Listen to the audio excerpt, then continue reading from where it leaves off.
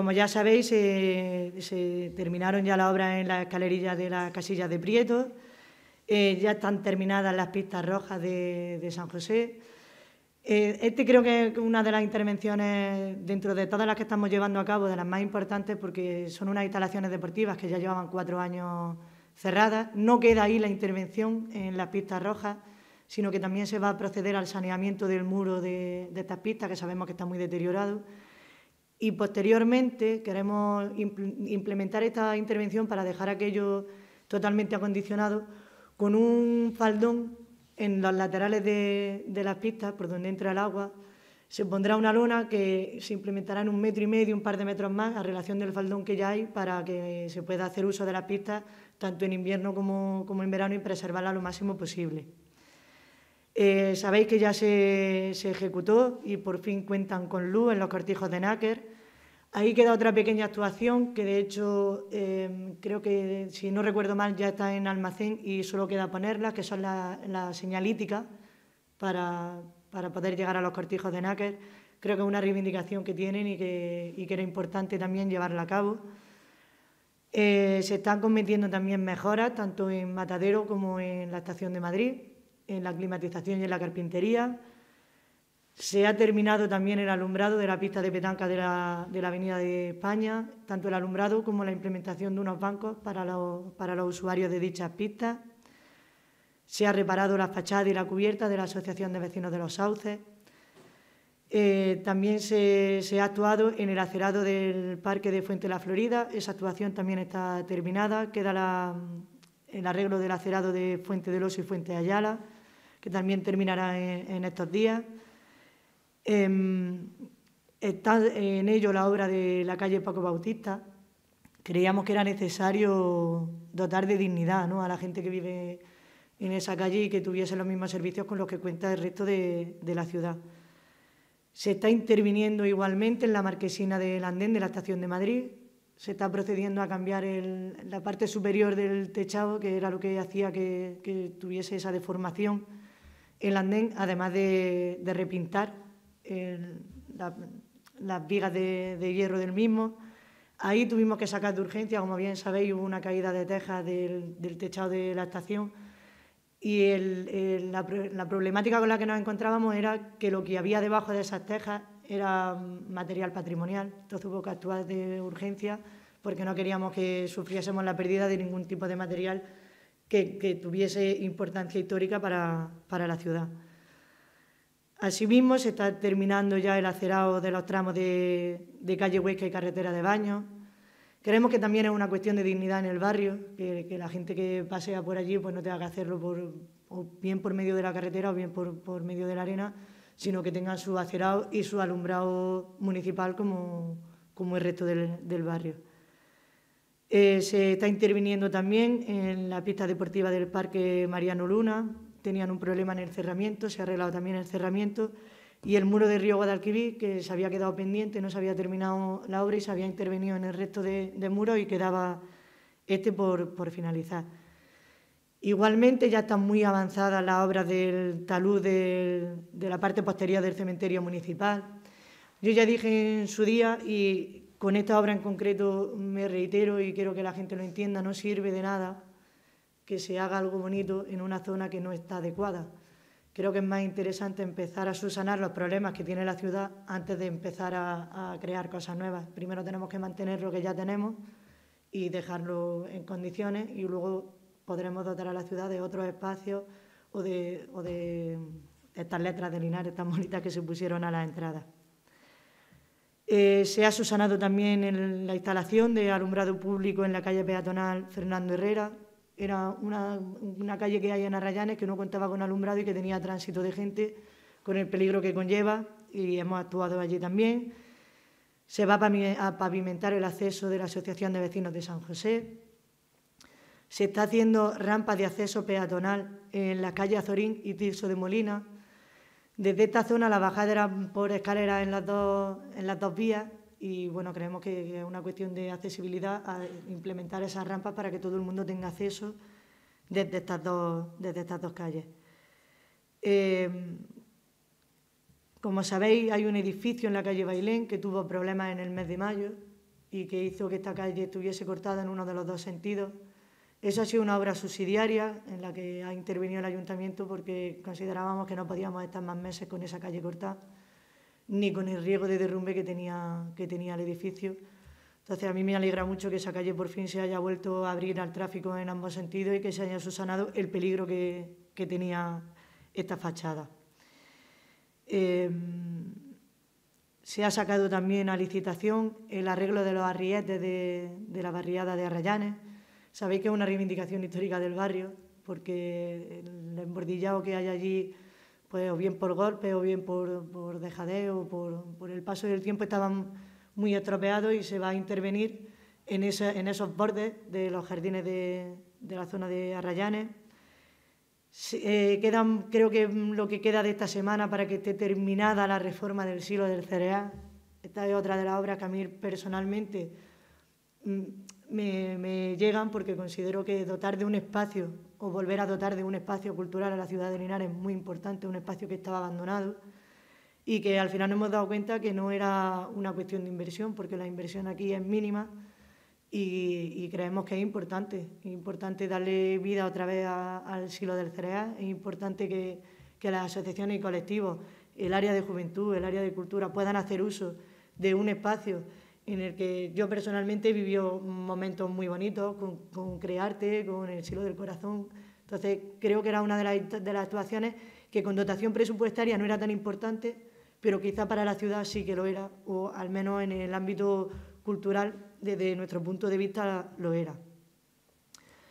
Igualmente, y aprovechando las obras de Paco Bautista, se va a solventar un problema que había en el alumbrado del paseo de la, ermita.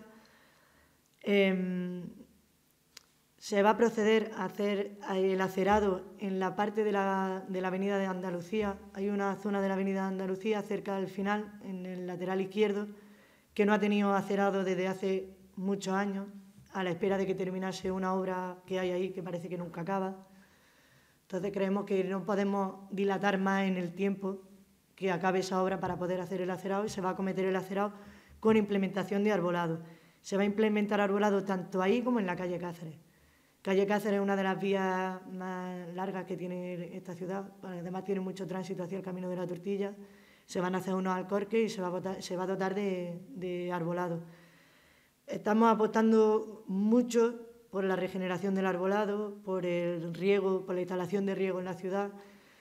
Mm, yo en algún pleno ya he hecho referencia a esto y, uno tiene que tener coherencia con lo que pide cuando está en la oposición y con lo que hace cuando tiene la capacidad de hacerlo. Sabemos que las temperaturas cada vez son más altas en la ciudad, sabemos el problema que hay con el cambio climático y Creo que dentro de las herramientas que tiene un ayuntamiento debe de intervenir al respecto y la intervención que se puede hacer es dotar de arbolado en las zonas en las que no lo hay y que cabe ese, ese arbolado y es lo que se va a llevar a cabo. Eh, igualmente se ha sacado un contrato porque hemos, reuniéndonos con las asociaciones de vecinos hemos visto que hay un problema de gran envergadura con el tema de la poda y la tala de árboles en determinados barrios. Entonces, le vamos a dar un poco de aire a, los trabajadores de jardinería del ayuntamiento. Se ha sacado, se ha externalizado una poda de las zonas más graves, allí donde, o allí donde nosotros con la maquinaria y con el personal que disponemos no podemos llegar, de manera que este problema lo tengamos solventado mm, años vista y le podamos dar a ellos un poco de aire y que se puedan dedicar al resto de, zonas arboladas y ajardinadas de Linares y ese mantenimiento que consideramos tan importante, porque de poco sirve implementar muchas más zonas de arbolado si las que tienes no las mantienes. Entonces creíamos que esta intervención era, era importante y, se va a llevar a cabo también. Y un último apunte que quiero hacer relativo a la, a obra de la Plaza Colón, que, ya están en, proceso. Es una obra que es cierto que viene del equipo de gobierno anterior, pero nosotros le hemos, querido, hemos querido darle una vuelta más y llevarlo un poco más allá para que cuando esa obra finalice, finalice por completo. Em, el perímetro de la Plaza Colón, la canalización que tiene de fibrocemento, entonces se va a hacer una intervención por parte de Inocua porque lo hemos considerado importante hacerlo así con el cambio de canalización, de manera que una vez que se ponga mm, el adoquinado, sepamos que no se va a tener que levantar de aquí a dos, tres, cuatro meses porque haya una rotura de una tubería. No tendría mucho sentido hacer una obra sabiendo que más pronto que tarde va a tener que, proceder a, levantar donde ya mismo han, levantado. Y a este respecto hemos puesto también otro punto más dentro de la propia Plaza Colón, que también se iba a eliminar el acerado que hay y a poner el mismo tipo de adoquín que se va a poner fuera. Y hemos sacado em, otra obra para terminar Plaza Colón y que cuando termine y los vecinos puedan disfrutar de ella sea de forma completa, que es el arreglo de los bordillos de los arrietes perimetrales a ese acerado que se va, que se va a cambiar y la instalación de volardos en la parte que se, en la que se va a adoquinar, de manera que delimitemos muy bien lo que es la zona de aparcamiento y lo que van a ser las futuras dos acerados y en la vía de circulación, para que no haya que volver a intervenir después de que la obra esté terminada, de manera que yo quede redondo, quede perfecto y, y claro, que no molestemos a los vecinos más de lo estrictamente necesario, porque entendemos que una obra al final en la puerta de una casa pues es una molestia. Entonces, queremos que cuando termine, que de hecho hemos intentado recortar plazos para que nuestra intención es que antes de Navidad esté terminada aquella obra, intentar molestar lo menos posible, pero intentar que cuando la obra esté finalizada, pues sea una obra en condiciones, con todo, con todo bien puesto y en la que no haya que volver a intervenir. Se va a poner arbolado en el acerado que se va a poner en la Avenida Andalucía, porque el, ancho del acerado así lo permite. En la zona donde el ancho del acerado lo permite y no hay árboles, se van a plantar. Sí, Ah, que haya que hacer. Ah, sí, eh, está la hipoda de arbolado en zonas específicas. Sé que hay zonas de arrayanes, no sé si lo tengo por aquí. Si no, os lo mando luego, la zona... La... Mira, la tala es eh, en el acceso de la ciudad por la Avenida de las Minas, Plaza Federico García Lorca, Plaza Luis de Góngora, Arrayanes Sur y Paseo de los Marqueses. Esa es tala. Y la poda en la Plaza de las Provincias, Plaza Luquitas de Marchena, Plaza Federico García Lorca, Asociación de Vecinos de La Paz.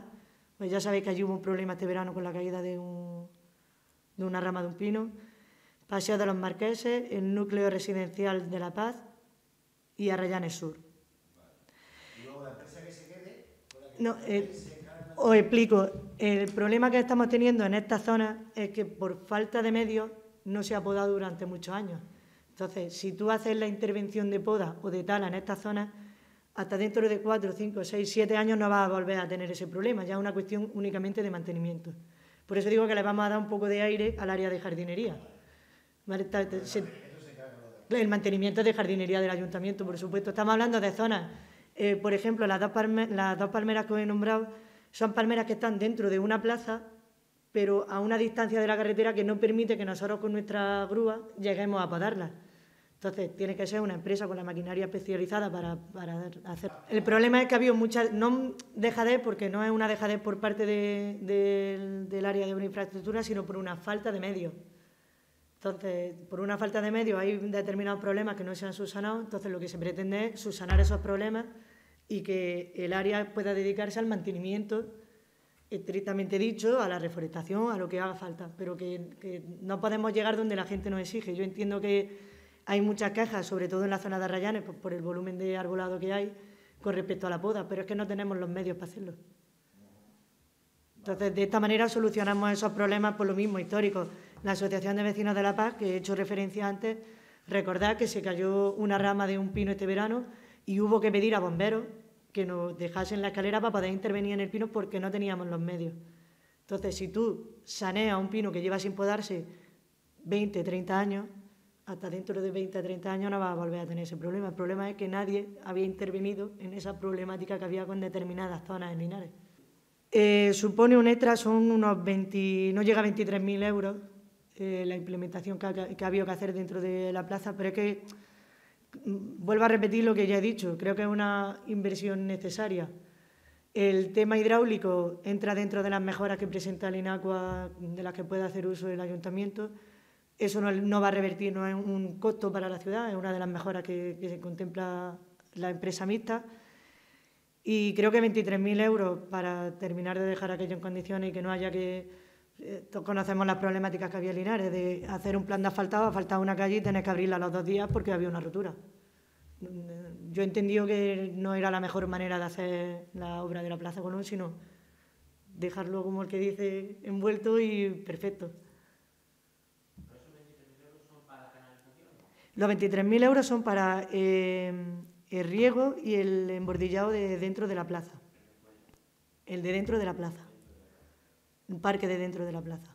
Igualmente ahí, cuando terminen todas las actuaciones que se van a hacer en Colón, desde el área de obra e infraestructura se repondrá la parte de la arena que se ha ido perdiendo con la entrada de agua durante años atrás por, el tema de la lluvia y la recogida que tenía la Plaza Colón por calle Úbeda, que también se va a subsanar con una canalización para que ya no salte ese agua dentro de Plaza Colón. En esa esquina va un, un inbornal, por decirlo de alguna manera, que recoge el agua de lluvia y la mete a la canalización, de manera que ya no tenga ese problema de agua Plaza Colón y no tenga pues, esa pérdida de arena, esos charcos, en fin.